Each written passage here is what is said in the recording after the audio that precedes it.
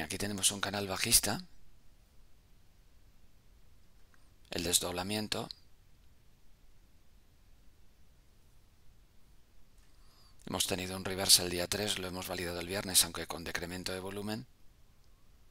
y aquí el mercado cuando hemos llegado a esta zona vemos que no lo ha, no lo ha superado, ni el día 2 ni el día 3.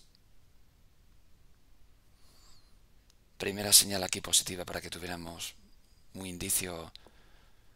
de recuperación que vulneremos el máximo de la sesión del viernes, el 41,32, que tengamos 41,33 y tengamos lo mismo que en ferrovial, la posibilidad de,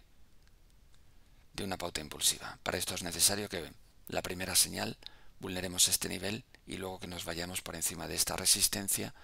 y para tener pauta impulsiva esto, que empecemos a cerrar por encima de 42,20 para que cambie aquí la situación